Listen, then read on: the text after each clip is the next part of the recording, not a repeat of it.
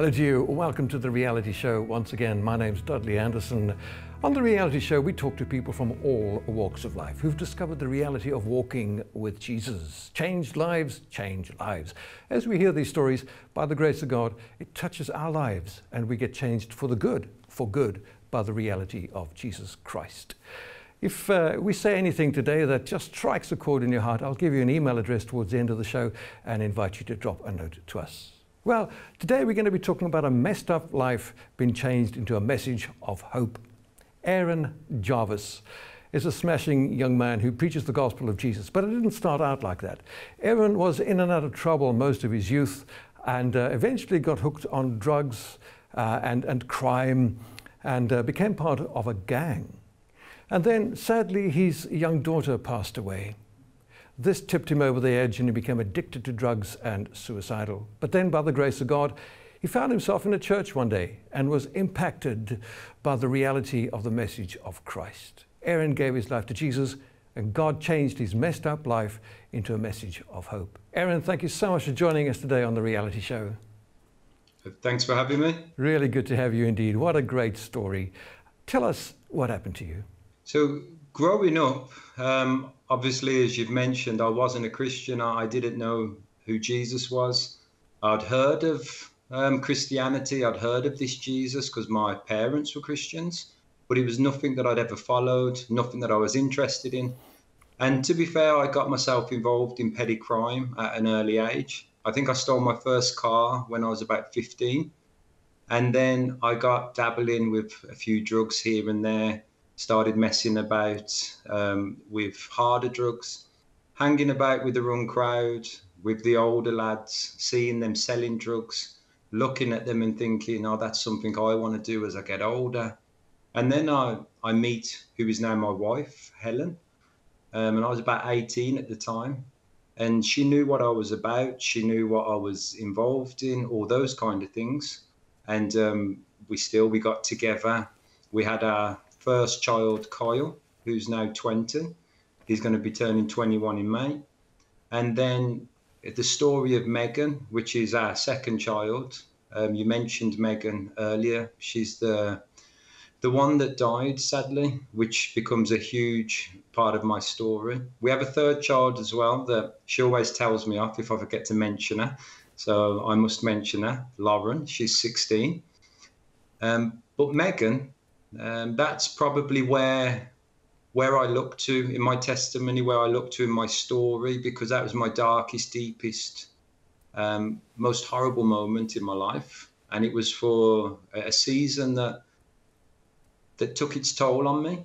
And yet, at the same time, we see a psalm in the Bible in um, Psalm chapter 40, where it says that God, He heard their cry and He pulled them out of a pit, out of the mud, out of the mire and I always think about that now. When Megan died, um, she, she was going to be the one that changed my life. She was going to be the one that kept me out of the, the drugs, out of gangs, out of crime. She was going to be the one that changed my life. I remember my wife being pregnant, and I said, um, when our daughter's born, I'm going to change the way that I live. I'm going to do things different. But sadly, Megan passed away, and it happened early on in her life. She was fine, and then all of a sudden, her organs started to shut down, and that's when my my darkest days really began. Mm, mm, mm. So, how old was Megan when she passed away, Aaron? So she was a, a newborn baby. So she'd just been born, and I remember the anaesthetist saying to me, "You can hold your daughter in a moment." Oh. And um, as as he said that, I saw somebody run into the room, and they started to massage her chest, and I couldn't hear her crying, and I knew something was wrong. And to cut a long story short, they whipped her past me on this trolley, and um, I remember giving her a kiss and saying, "Daddy loves you, princess. I won't let anything happen to you." And they they whipped her down to the Pooley baby unit, where she was put onto a life support machine and she would stay there for the remainder of her short life. But I was outside and I was praying and I was saying, God, if you're real, don't take my daughter for all the bad things that I've done. I was convinced that I was being punished because of the things that I'd done wrong. And I got a phone call from the doctor pretty shortly after that prayer. I'd never prayed to God like this before, but I just I just thought it's it's worth a go. You know, hope hopefully something will happen good. And I even said, God, if if you do rescue her, I promise I'll follow you. I, I don't know what I'd do. Just just help her. I, I didn't know what else to do. For the first time in my life, I wasn't in control. I hmm. wasn't in control. I was at the mercy of the doctors. I was at the mercy of God if he was real. At this stage, I didn't even know if he was real. And when the doctor phoned me, he said, Mr. Jarvis, you need to get down to the Pooley Baby unit. And so I started running down convinced that a miracle had taken place. And when I got there, I saw my wife and she was crying. And I realized quickly that they weren't tears of happiness. And they said, Mr. Jarvis, your daughter's heart rate was 140, but it's dropped all the way to 40. We need you to allow us to turn the life support off. And as I allowed them to do it, we watched as our daughter passed away. And I remember something that troubled me for so long and played a big part in my drug addiction, to be fair. It was this noise. And I said to the doctors, like, what's wrong with the machine? Is the machine broke? And they said, no, that's your daughter's last gasps of air. She's trying to breathe on her own, but she can't. And that, that literally took me to drugs in one sense, because every time I closed my eyes, I would just hear that sound and my darkest days began. Mm-hmm. That's really, really sad, and especially that you had to, you know, give the permission to unplug the machines. I don't know what I would do in a situation like that, uh, Aaron. And so, um, do you, did you blame God for this at all at this stage? Yes, there was a chaplain man came in. My wife had to stay in hospital for a week She'd had a cesarean. She had to stay in hospital. They they would bring Megan in. They put Megan on ice. I don't know how long this was for. I thought it was for a couple of days, but it was probably just hours, if I'm honest. I, I don't know. But they would bring Megan in, and she was really cold, and my wife would warm her up. But she was already dead at this stage. She'd already passed away. And I remember the chaplain coming in, the hospital chaplain, and he said, Can I pray with you guys? And I just looked at him and I went to the bottom of the bed, sat down by the window, and I was just so angry. I didn't want nothing to do with him. But my wife, she was um, being a lot more respectful and she allowed him to pray. And I remember looking out the window and I said, God, if you're real, I will never ever serve you. If you're real, I will never ever serve you. And Mm. Today, I can't help but serve God. Famous last words, as they say. Wow, Aaron, was really tragic. Uh, and so, when little Megan passed away, you said uh, you became hooked, you became addicted to drugs. Did you become suicidal at all at the stage? Yes, um, it started off where I would take the drugs. Like I always say, nobody wakes up in the morning and says, I want to be a drug addict it kind of creeps up on you. But I, I didn't do drugs for a buzz. I, I didn't do it because it gave me a buzz. I did it because it took the pain away. I did it because it covered. It doesn't. It doesn't take the pain away. It just covered, but it felt like it took the pain away at the time. I, I did it because I didn't want to go to sleep at night. Cocaine became my main drug, and that would keep me up for nights at a time. I would session for three and four days at a time with no sleep. And so as my life was spiraling out of control, I came to a place where I was getting more and more depressed. I'd been on the drugs for a couple of years and I just no longer wanted to live. I didn't see my life in this world. It was this, this life only gave me pain. That's what it, it felt. There was stuff that happened in my earlier years, and then I get to this stage in life, and here I am um, the happiest time of my my life has become the saddest. Daddy's little princess is no more, and I don't know how to to move forward. And so I became suicidal.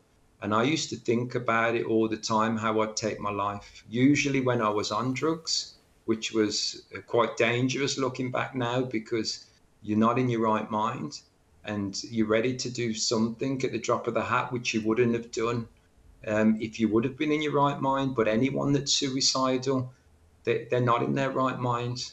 I, I've got this this kind of saying now where I always say to the congregations, you know, don't make permanent um, decisions or permanent things based on temporary situations. And for me, at that time, it didn't feel like it was temporary. It felt like this was how I was going to be for the rest of my life. And so I wanted to cut the pain. I wanted out. I wanted to jump off this world. And I thought if I killed myself, then I would go to be with my daughter. That was my thinking. That's what I believed. I thought, end my life and I'll be with Megan. Not thinking of the people that I'd leave behind, not thinking of my son that was uh, two at the time, or should I say, he was actually four at the time. He was two when Megan was born, but not thinking of anybody else. It was just uh, my pain, my hurt. All the time I'd think about it.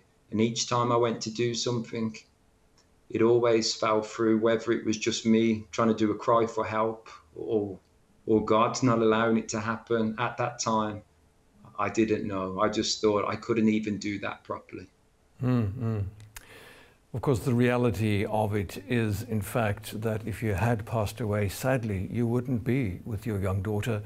Because the scripture says, All have sinned and come short of the glory of God, and the wages of that sin is death. And that's an eternal death if we don't acknowledge the Lordship of Jesus in our lives and come to the reality of uh, a real encounter with God, which I believe you did. Dreadful story. So, your wife uh, during this time, did she have any relationship with God? How did she deal with it?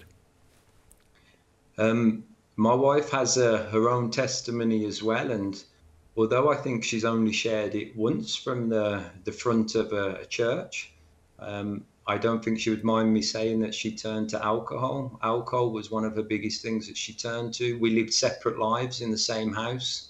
Even though we'd been married, we I couldn't talk about it. Uh, I think my wife would have liked to have talked about it, but I just I couldn't broach the subject. It's taken me many years. Um, I wouldn't say to get over the pain. I would just say to, to learn how to cope. And um, I turned to drugs. She turned to drink she turned to other things, and and that's how she handled it. It was a, a messy situation for us both, and neither of us knew Jesus. My wife didn't know God. I was actually the one that led my wife to the Lord. Mm-hmm. It's amazing. Aaron, thank you so much for joining us on the reality show. If you've just clicked on in on the website, perhaps you've tuned on in on the channel on the television where you are right now, thank you for joining us. You're watching the reality show with me, Dudley Anderson, today sharing it with uh, a, a young man who has experienced the grace of God in his life, Aaron Jarvis. And we've just heard how Aaron was born into a Christian environment but had nothing to do with God, got involved with drugs and gangs, but not too seriously. And then sadly, one day his lovely little newborn baby girl, Megan, passed away. This tipped Aaron over the edge, and he soon became addicted to drugs, overdoing it, as it were, uh, and became suicidal in his life. He and his wife self medicating to deal with the situation. Aaron, thank you so much for sharing that with us um, and, and, finding out more about your life and experience. Just before we move on, just to, to stop there for a minute, a lot of people self medicate when they suffer stress and overload or burnout or loss, as you have done. You know, they turn to drugs, alcohol, other forms of self-medication, so to speak. Um, what's your advice to anybody? I know we're going to bring the gospel into this, but if anybody's listening, watching up uh, today, and they find themselves in a similar situation, what's your word to them right now? Just stop, take a listen. What is your word to them? Well, now the man that I am today, I will always turn to the one that can set you free and so I, I, always lean on that as my my first port of call. I, I know one that can help. I know one that can pull you out of the pit, out of the mud, out of the mire. Um, when I'm talking to someone that's not a Christian, when they don't believe in God, they they don't always want to listen to that side. And so, in a practical sense, it's like we've got to pull ourselves away from those self-medicated things, as you said, because it's only going to get worse. It only leads us into a deeper mess.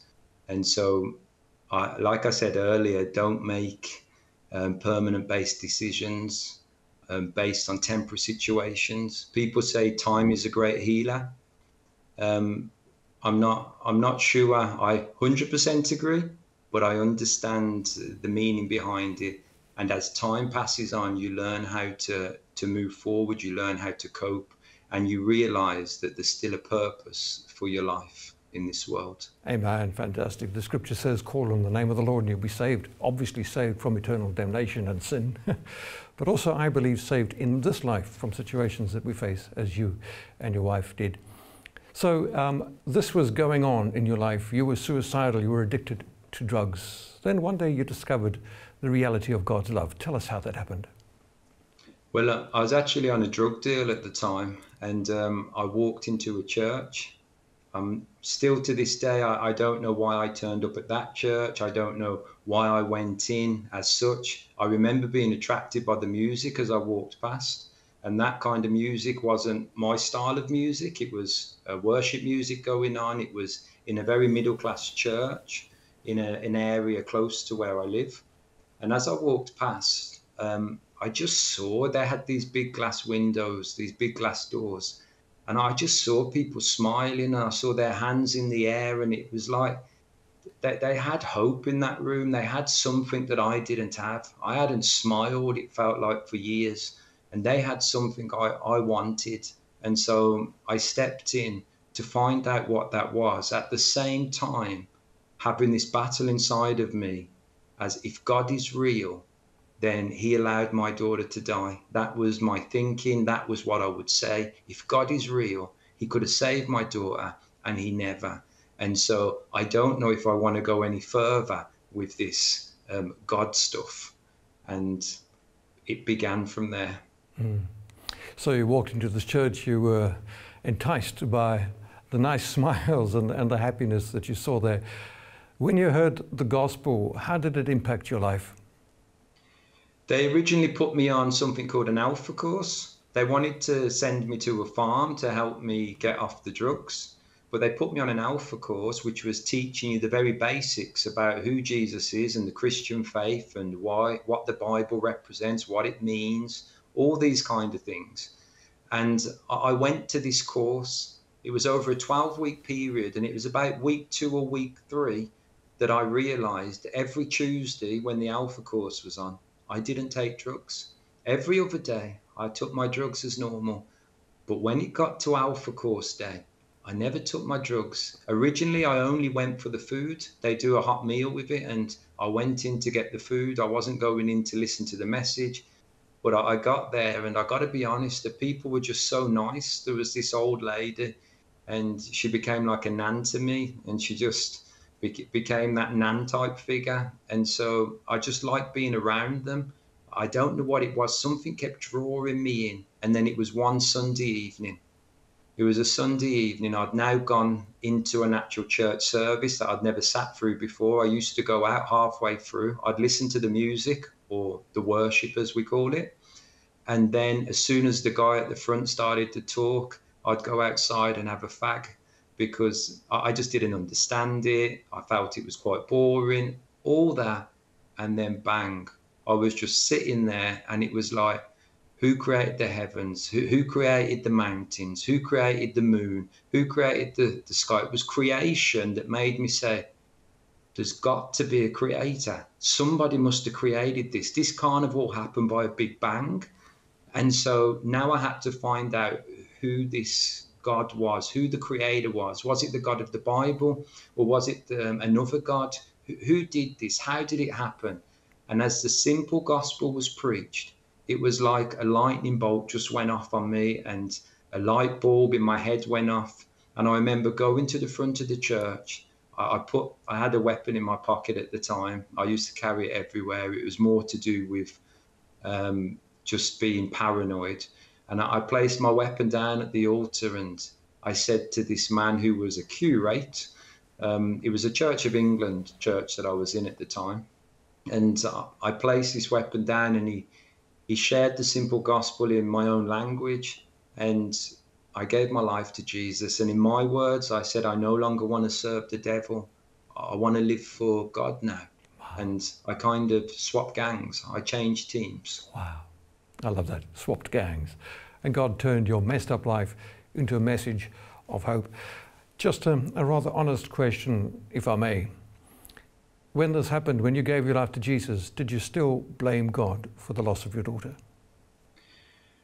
Um, there's been moments where I've just kind of cried, why? Not not understand, like, why, Lord? Why did I have to go through everything that I went through? Um, and it, it wasn't just the loss of my daughter, it that spiraled into so many more things, but it all stemmed from there. And it was like, why? But ever since I gave my life to Jesus, I, I never I never blamed him once. I never looked at it like that. I've obviously got a, a greater understanding now of why bad things happen. At the time, I didn't understand, but all of a sudden, I just knew God was real and I knew He was a good God and I knew that He loved me and He'd come and made His home in me. And so I just didn't have those feelings anymore. It, he completely transformed me. For, for a Christian listening to the story, he will understand this next bit that I say. It was a road to Damascus moment. It was a, a big transformation moment where everything changed. It, it wasn't um, slowly, like a road to Emmaus. It wasn't slowly, slowly it happened and then it went off. It was a transformation overnight when I realized that Jesus was real. My swearing stopped. I didn't say another swear word. It's just my tongue could no longer swear. I just couldn't have it come out my mouth. It was like this tongue won't praise God and curse men. It was a transformation overnight. I've seen those happen in people's lives and I've seen it happen gradually as well. Both, um, I believe God works with both ways, but with me, it was a, a smack in the face and it was a transformation overnight. Mm. You know, that's just amazing. You know, we can't outwit God we can't preempt God. After all, He's in our tomorrow, even as we speak today. He's there already, and He knew your, your lovely little daughter would pass away. And He knew the moment that you would say, Come into my life, Lord Jesus. We can't phase God. And even though you blamed Him, you may even have cursed God, the grace of God expounds, the grace of God endures, and grace is God's doing. And He did it for you, Aaron. He's done it for me when He sent Jesus to take our place upon the cross, to take our worries, our anxieties, and our fears, and our losses upon the cross. And He is a God of healing. And what you've just experienced and what you've just uh, shared with us is, dare I say, miraculous. How God mm-hmm. could change your life, how He could change your outlook, how He could change your mind. I always say we can have a change of mind. You can change your mind if we set our minds on things above and Christ as Lord and Savior. What an amazing story, Aaron Jarvis. So, uh, you're now serving the Lord just in the next minute or so. Tell us what you're doing. Okay, I became a pastor six and a half years ago. I took on a small church of 25 people and um, it quickly started to grow. The people I used to sell drugs to, the people I did drugs with, they were now coming in, getting saved, getting baptized, um, having those mo- the same moments that I had. My wife was the first person I led to the Lord, and so we've done this together. And now we're 24 congregations in seven nations, and so it's just grown um, so quick, so big, um, in such a short space of time. And I, I, can only say that it's it's all because of him. It's all because Jesus still builds his church today. Still changes a messed up life into a message of hope. What is that message of hope, Aaron Jarvis? It's the one that can set you free. It's the one that came for each and every one of us. You said it earlier the wages of sin is death but the gift of God is eternal life. While we were still sinners, Christ died for us. For each and every one of us, He came for us all, and He can turn our lives around. He can put a new song in our mouth, He can put our feet on a new rock. He's the one that gives hope, but that hope, that's not a wishy washy hope. That word hope in the Bible, it's a certainty, it's a reality. One day we will all stand before Jesus. One day we will all stand before God, and it will be too late to choose then. We get to choose here now on earth. Do we choose to follow or do we choose to reject? God is a good God and He gives us free will, and so He's given us a choice. It's our choice. I chose Jesus, and so I look forward to the day when I leave this earth, when my mission's complete, I'm ready to go home. And there is a little girl in heaven waiting for me to throw my arms around. But before I put my arms around her, I will go to the feet of Jesus and say, Thank you, Jesus. Amen. Thank you, Jesus. Amen. Amen. You saved me and you set me free. You gave me a hope and a reason to live. Fantastic. Wonderful. And that's the message of the cross of Jesus Christ. If you've been listening, if you've been watching, listening online, watching to us, and you have some questions, and maybe this has just struck a chord in your heart, maybe you're facing some of a similar situation where you're blaming God for something in your life, I'd love to chat with you. Do drop me an email if you can, dudley at surereality.net, my personal email address. I would love to hear from you or make contact with this television station. Thank you indeed. Aaron, it's been fantastic speaking with you. We pray God's richest blessings upon you as you continue to serve Him, sharing the story of a messed up life changed into a message of hope. Thank you for joining us. Thank you. Wonderful. Just to reiterate, if you have any questions, if you'd like to comment, if you'd like some prayer, drop me a personal email, dudley at surereality.net. The reality show is all about lives touched and changed by the reality of Jesus. And we've heard that story today as Aaron has shared his life touched and changed by the reality of finding Christ, the reality of God's love, God's grace, stepping into his circumstances, not only saving his life physically, but saving his life spiritually. And he can do the same for you. Well, it's wonderful to have been with you today, and I really encourage you to join us again next time as we get together to chat with a life touched and changed by the reality of Jesus in the next The Reality Show. Thank you for joining us.